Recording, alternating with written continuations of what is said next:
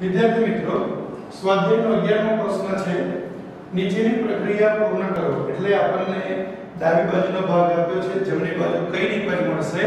તેના વિશે વિચારવાનું છે. તો સૌપ્રથમ આપ્યું છે C6H5NH2 દોસ્તો C6H5NH2 ને કહીશું આપણે એનિલીન. શું કહીશું? એનિલીન. પ્રક્રિયા આપેલી ક્લોરોફોર્મ પ્લસ આલ્કોહોલિક KOH તો આ પ્રક્રિયાનું નામ થશે કાર્બાઇલ એમાઇન કસોટી. અને જ્યારે કાર્બાઇલ કસોટી કરવામાં આવે, તો આપણે જાણીએ છીએ તે પ્રમાણે દોસ્તો C6H5 N triple bond C plus minus આ નિબંધનું નામ થશે ફિનાઇલ આઇસોસાયનાઇડ શું મળશે? ફિનાઇલ આઇસોસાયનાઇડ યાદ રાખજો એમાઇન કસોટી ફક્ત પ્રાથમિક એલિફેટિક એમાઇન અને પ્રાથમિક એરોમેટિક એમાઇન જ આપે છે અને આ પ્રક્રિયાને અંતે દુર્ગંધિત વાસ ધરાવતા ખૂબ જ ઝેરી આઇસોસાયનાઇડ સેવન મળે છે ત્યાર પછી આપણે C6H5N2Cl જેને આપણે કહીશું BDC BDC એટલે શું? Benzene diazonium chloride. તો H3PO2 ને H2O સાથે જે કોપરની હાજરીમાં રિડક્શન કરવામાં આવે આ પ્રક્રિયાનું નામ છે રિડક્શન તો શું થશે દોસ્તો? આપણને મળે છે C6H6 બેન્ઝીન શું મળે છે? C6H6 બેન્ઝીન અહીંયાથી નીકળી જશે શું? N2 અહીંયાથી એક HCl સાથે તેને શું કરશે વત્તા HCl અને વધેલો એક ઓક્સિજન H3PO2 સાથે જોડાઈને શું બનાવશે H3PO3 તો પછી શું મળી મિત્રો આપણને? બેન્ઝીન. શું મળી? બેન્ઝીન. હવે એનિલિંગની પ્રક્રિયા કરવાની કીધી છે કોની સાથે દોસ્તો? H2SO4 સાંદ્ર સાથે. આ બેઝ છે અને એસિડ છે. બંને એકબીજામાં ઉમેરી જશે અને આપણને મળશે C6H5 NH3 HSO4 જેનું નામ છે એનિલિનિયમ એનિલિનિયમ હાઇડ્રોજન સલ્ફેટ. શું નામ છે દોસ્તો? Anilinium hydrogen sulphate. તો અહીંયા નિપજ તમને આ મળે છે, ઓકે?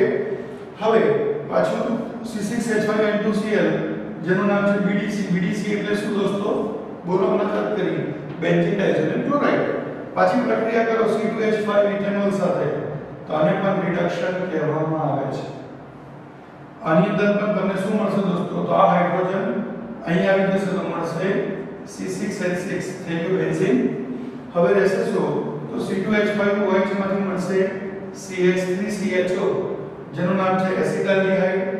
આ નાઇટ્રોજન જે છે, અહીંયા N2 સ્વરૂપમાં આવી જશે અને અહીંનો એક હાઇડ્રોજન, એક Cl સાથે જેને બનાવશે વત્તા HCl તો નિપજ શું મળ્યું દોસ્તો આપણને? બેન્ઝીન. નિપજ શું મળ્યું? બેન્ઝીન. હવે પાછી પ્રક્રિયા કરવાની કોની સાથે એનિલિનની.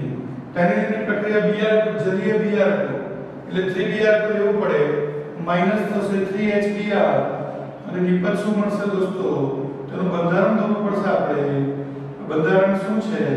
તેનું નામ થશે શું? તો 246 ટ્રાઇબ્રોમોએનિલિન શું મળશે ફ્રેન્ડ્સ 246 ટ્રાઇબ્રોમોએનિલિન પાછી પ્રક્રિયા કરો એનિલિનની કોની સાથે? તો આ જે છે CH3CO ટ્વાઇસો એને કહેવામાં આવે છે એસિટિક એનહાઇડ્રાઇડ આ પ્રક્રિયાનું નામ છે એસાઇલેશન એસાઇલેશન પણ કહેવાય અથવા દોસ્તો એને એસિડિલેશન પ્રક્રિયા પણ કહેવાય. એસિડિક એનહાઇડ્રાઇડ લગાશે આ રીતે.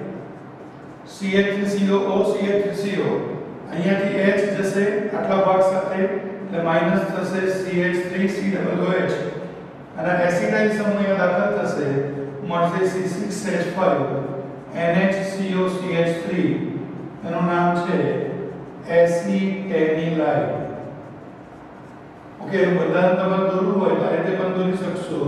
બેન્ઝીન પર NHCOCH3 તમે આમ લખો અથવા આમ લખો, બંને વાત કેવી કહેવાય ફ્રેન્ડ્સ સરખી કહેવાય.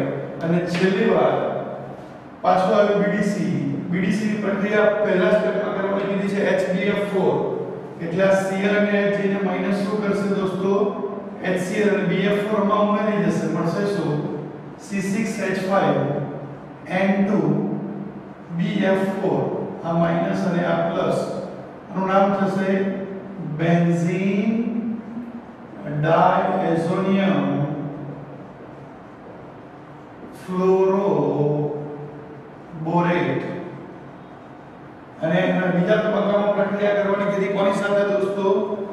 NaNO2 ને કોપર ઉદ્દીપકની હાજરીમાં. તો આ Na એથી BF4 સાથે પ્રક્રિયા કરીને કરશે NaBF4 આ N2 નીકળી જશે N2 અને NO2 અહીંયા જોઈન થશે, મળશે C6H5NO2 જેનું બંધારણ દોરીએ તો આ રીતે દોરાય, બેન્ઝીન પર NO2 જેને આપણે નાઇટ્રો બેન્ઝીન કહીએ છીએ. શું કહીએ છીએ ફ્રેન્ડ્સ નાઇટ્રોબેન્ઝીન તો આ રીતે તમને આ પ્રક્રિયાઓ આપી છે. તમને એક માર્ક્સની અંદર એમસીક્યુ ની અંદર અથવા કોઈ પણ બે પ્રક્રિયા આપી હોય, બે માર્ક્સ ના ક્વેશ્ચનમાં પ્રક્રિયા પૂર્ણ કરો, તમને પૂછી શકે. આ રીતે વ્યવસ્થિત જવાબ તમારે લખવો પડે.